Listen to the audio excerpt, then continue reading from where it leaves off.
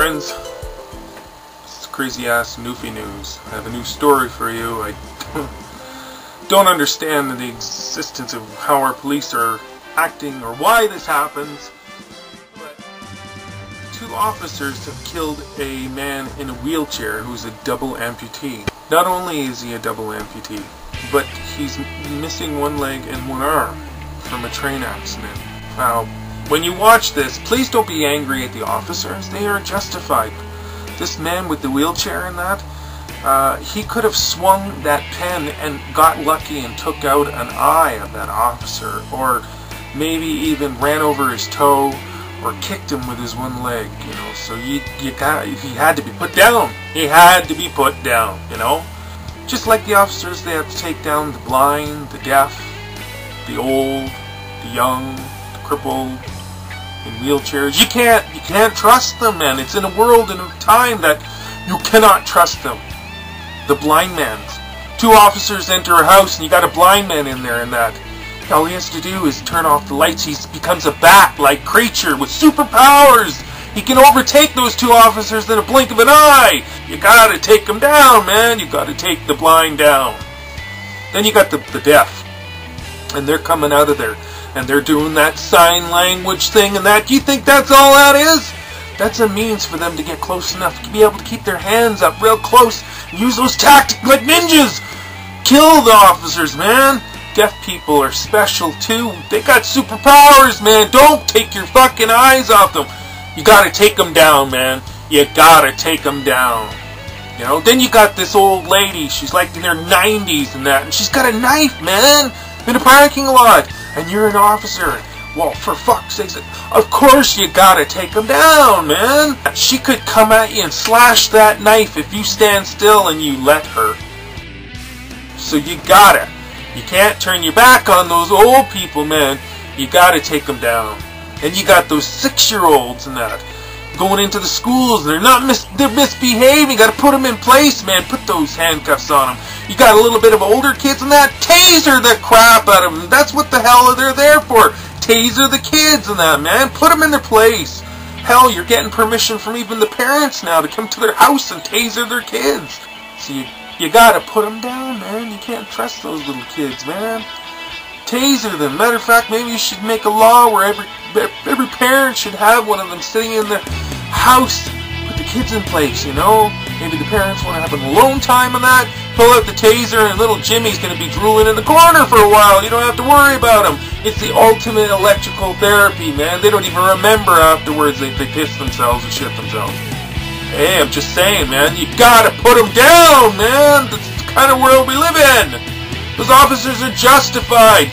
A man with a wheelchair is a man with a transformer. How the hell do you get cornered by a man in a wheelchair with one arm and one leg? Police shooting in Houston. An officer shot and killed a double amputee after police say he advanced on the officer's partner in his wheelchair.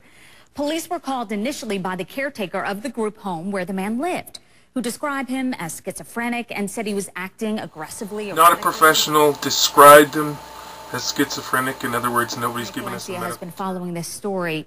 And Nick, when you hear just the basic facts here, you wonder, this guy's in a wheelchair. How could this escalate into a shooting? Well, that's what everyone's asking, and that's in fact what we asked the Houston Police Department earlier today. But this all started over candy, uh, cigarettes, and soda. Uh, this Brian Claunch acting uh, aggressively over these items and whatnot, but still not killing or stabbing anybody. By the police became aggressive with his caretakers after asking uh, for candy and soda, uh, cigarettes and soda about 2.30 in the morning. Mm-hmm. Uh, that's when the police were called in, and when the police got there, Susan, things sort of escalated. At some point, one of the officers was cornered into this darkened room, uh, and according to police, who we spoke to earlier today, it was the partner, not the officer that was in the corner of the room, mm-hmm. that fired that fatal shot, and the shot, one shot, to the head, according to this police source. And of course, it's under okay. investigation. But what Here's what happened.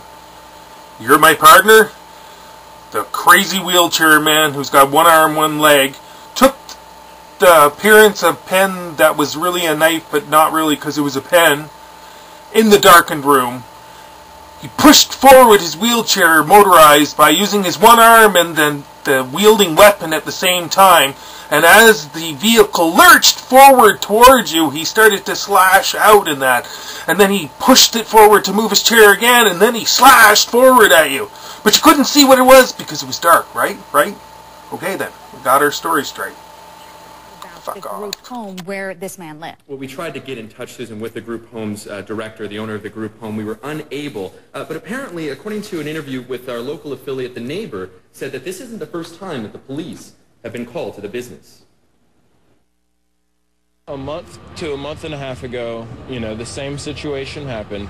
We heard some s- s- yelling and screaming, and that we saw them take one or two of the individuals Again, misleading. This gentleman can't even define if the man who got shot was the same other two gentlemen who got pulled out before. It is a The, group uh, the neighbor saying that that neighbor thought the police had showed up to close down his party. He was having a party that same night. They went to that business there, and uh, there was a fatal shooting that took place. misleading.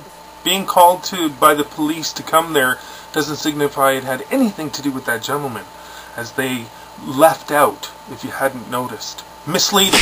Of the officer. Well, that's a good question. This officer, according to reports, was involved in another fatal shooting back in 2009. Uh, per standard operating procedure for the Houston Police Department, the officer was put on three days administrative leave. More details, of course, will uh, no doubt emerge from this, Susan. Which is status quo if something like this does happen. Nick Valencia, thanks so much. Thank you. I Appreciate that. cannot believe they justify this insanity.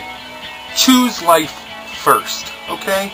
Now visibly put that in your mind. He's in a wheelchair, electric or not, he's got one arm, so he's got to move it over there. He has to lower the pen at some point, or is he holding the pen still while he pushes the trigger to move his crazy wheelchair that is, you know, like...